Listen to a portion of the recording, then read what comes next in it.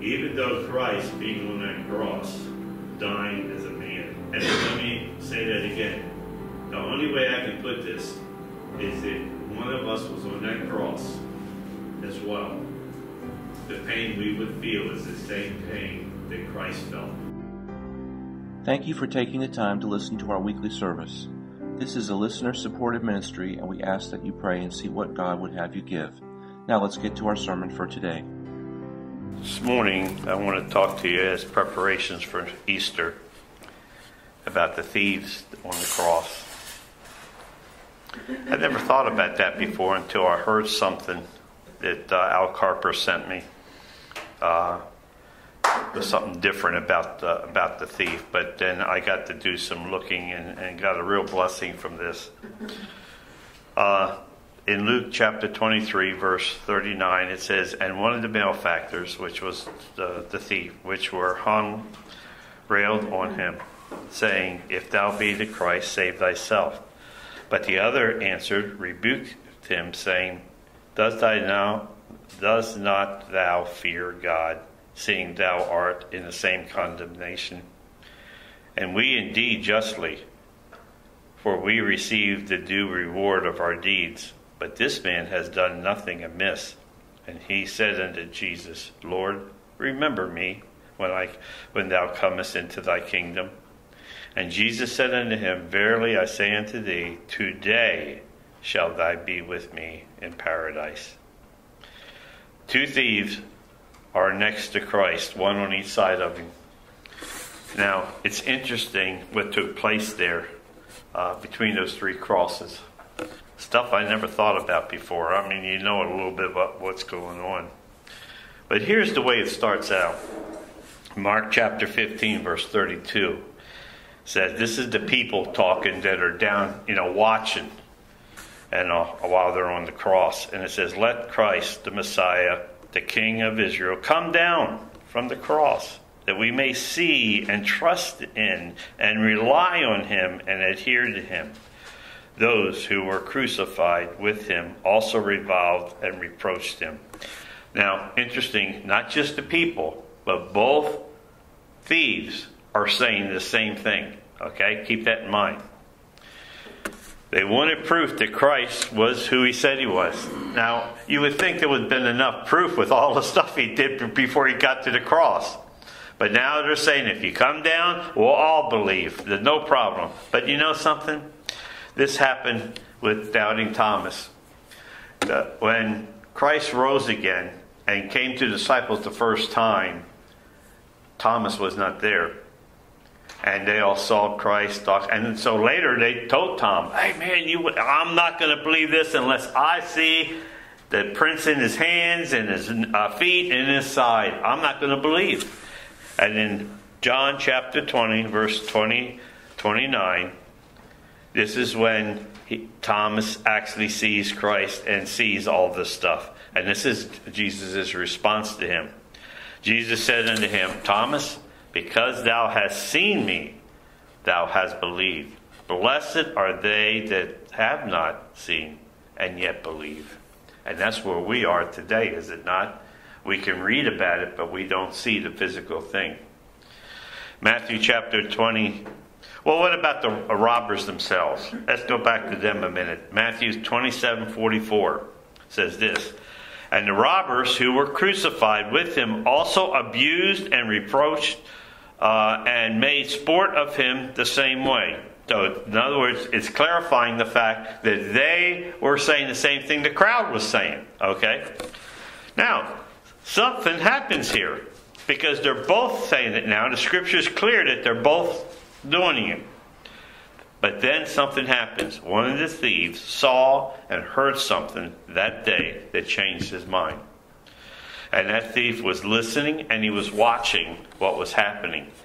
So he saw Christ. What did he do? What changed his mind? That, that got a hold of me. Let's look at what happened while Christ was on the cross. Number one, Luke 23 34. It says there that Jesus prayed, Father, forgive them, for they know not what they do. Now that thief heard him pray. Okay? Something was changing in that thief's life. As, and obviously, the Holy Spirit's talking to him. And he saw Christ, who he really was. Then, next, the thief, uh, the next thing the thief sees is in John 19 26. He sees another thing. Now, think about this. They're hurting. They're, they're, they're, it's, it's not easy being hung with nails. You, all your weight's against the nails your body and all. I mean, they're in terrific pain up there. And here's the next thing Christ does. In John 19 26, so Jesus, seeing his mother there, and the disciples whom he loved standing near, says to his mother, Woman, see your son. Then he said to disciples, See your mother. And from that hour, the disciples took her in as his own. So he went as far as to ask forgiveness to all that was taking place he takes care of his mother while he's in all that pain on the cross. And I believe at this point the thief is really starting to see this man is who he says he is. He's done, and he, remember at the beginning, what's he say to the other thief? He's done nothing wrong, nothing toward being there. Luke twenty three forty. But the other answered and rebuked him, saying, and this is what we just read Dost thou not fear God, seeing that thou art in the same condemnation? We indeed justly, for we receive due reward. Now, this is important that he says what he says here, and this is an important part of salvation. The thief knows Christ has done nothing wrong, number one. Now, think about this. How does he know all this from just what he heard? Well, if it's like Christ, now Christ was in prison for a long time. I mean, they captured him, put him in there, they went through a bunch of, uh, you know, torment, asking him questions, and then they took him out and hung him. So let's assume the same thing happened with the thief. Okay? So what I'm assuming at this point is the thief, without, while he's being a thief, heard of Christ. I mean, it was everywhere, was it not? People were in groves from cities coming out, the scripture says. So that thief had to have heard that he was healing people, raising the dead, feeding people. He had to have heard all those rumors. So now everything's coming together for this thief. He's heard, now he sees Christ in action, praying and asking forgiveness for all the people, including himself. And then he prays and takes care of his mom. And I believe he's seeing something is happening here. He's finally realizing that, number one, that Christ has got to be the Son of God. This is really for real. Remember, he also sees the darkness of the sky. Remember, got when uh, when God the Father withdrew from Jesus. My God, my God, why hast thou forsaken me? But how does he know? by the way Christ conducted himself, what he did. He observed, he saw it.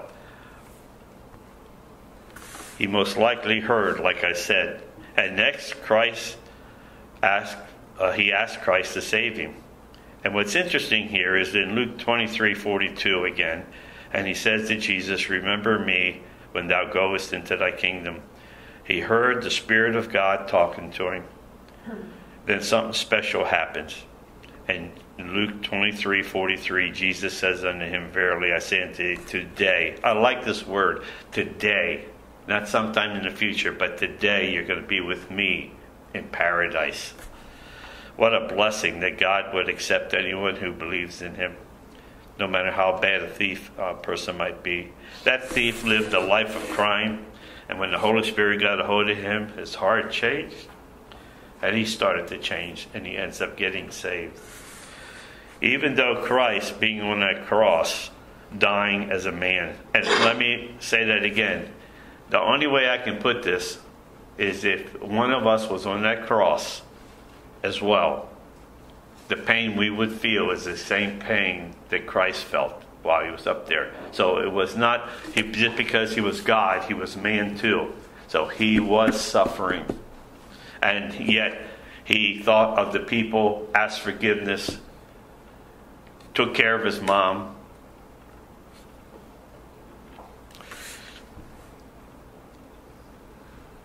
In Hebrews chapter 2, verse 1, it says, Therefore, we must give more earnest heed to the things we have heard, lest we drift away.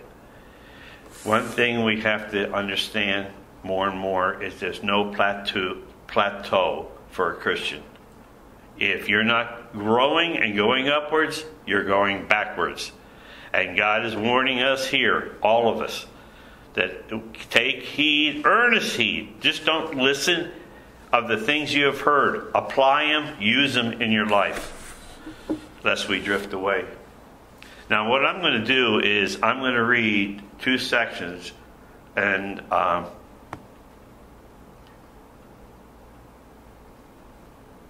it came from a website called Got Questions website. It's a Christian website. Uh, uh they say it's so neat. I want to read word for word the, the quote. It's a couple paragraphs, but here's what it says. Listen to this. It is remarkable that while in the excruciating and mind numbing torment of the cross, the Son of Man, excuse me, had the heart, mind, and will to pray for others. Yet it is a miracle that one thief, while in agony himself, heard the Spirit of God call him to repentance and accept acceptance of the forgiveness of God was just about to provide through the death of Christ. While the disciples were abandoning the Lord, and if you think about this, now when they went to get Christ, a lot of them ran away. Now some did stay and were at the cross. This man answered the call. His sins were forgiven including the blasphemy against the Son of God, which he did to start off with on the cross.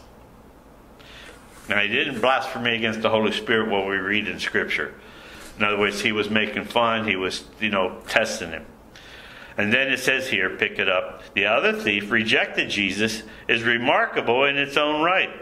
While being tormented on the cross, literally joined his tormentors in insulting the Savior, Savior of the world. And he most likely did so because he wanted the tormentors to think he was just like them. Joined to the world and with no love for God. Not only was this man next to the Savior, he heard the man pray. He witnessed the salvation of the other thief. He saw the world go dark, and he heard the testimony of the Son but his pride kept him from submitting to the only one who could save him. And when and he one day will bow to the name he mocked. He will be doing so reluctantly and while he was in torment. Philippians 2 9 says, Wherefore, God, I don't know if you've ever thought about this, but the scripture here, wherefore God also has highly exalted him, talking about exalting Christ, and given him a name above every name, that at the name of Jesus, uh, Jesus uh, kneels shall bow of things. Now listen to this: in heaven, the things in earth, and the things under the earth. That every tongue shall confess that Jesus Christ is Lord, and the glory of God the Father. Now, it's easy to realize that's what's happening in heaven. We can also comprehend it will happen on earth. But he's talking about hell here. Everybody that didn't get saved is going to be on their knees uh, acknowledging Jesus Christ as Lord one day. I want to pick up with the, with the quote here. When that, t- that time comes, everyone will realize who Christ is, and at that time it will be too late. What we learn from the saved thief on the cross is that we are all sinners in need of a Savior. And no matter the number of our sins, and no matter if we or the world think our sins are minor or extreme, it is never too late to repent and accept the free gift of salvation. Moreover, as long as someone still has a mind and the will to choose life over death, it is not too late to proclaim the gospel, which hopefully will open the heart to a miracle by the Holy Spirit. In Ephesians chapter 2, verse 8, it says, For by grace are ye saved through faith, is not of ourselves. It is a gift of God, not of works, lest any man shall ever boast. When the Holy Spirit speaks to a person, they got that's the time they got to get saved. You can't go home and think about it. That's the moment you have. Everybody gets that moment. I truly believe that. The thief saw the light as the Holy Spirit dealt with him, and he got saved. He saw something. Now, think about this. He saw just a little bit. We got everything in the Bible. We can read everything he went through, everything, pros and cons, the way he liked, they liked him, the way they tried to tear him up. The Old Testament talk. Uh, uh, I just got finished reading Hebrews 11. That's the faith chapter. You got to read it and read chapter 12 afterwards too. But these people in the Old Testament did everything because they were because of the promise yet to come. That was Christ. He hadn't come yet, but they were relying on that promise. We got the promise. What are we doing with it? Think about that. That that thief only saw a little bit and it changed his life. It's amazing. Two thieves died that day. One in heaven, the other in hell. I wonder what the thief in hell is thinking about right now. Scripture says he realizes who God Christ is, and one day he's going to bow to him. I know that the thief in heaven is thinking he's praising God. Let's pray. Father, thank you for this opportunity. It was a real blessing to, to look at this thief that got saved. God, help us to respond, to grow, to not only just to hear and be hearers. Yeah, I've you know I've just been reading through James, the book of James. The whole book talks about being doers of the word and not hearers. Are we growing? God, help us to grow. Help us to get closer to you. Help us let things happen that that didn't work the way we wanted it to work. Help us, Father, to have the faith. Help us to grow in faith. Help our unbelief. As the one man said about his son, God, I believe, but help my unbelief. Oh, Father, I pray that you would help strengthen us for the task ahead, for the remainder of our life, to be all we can be for Thee. In the name of Jesus, I ask it. Amen.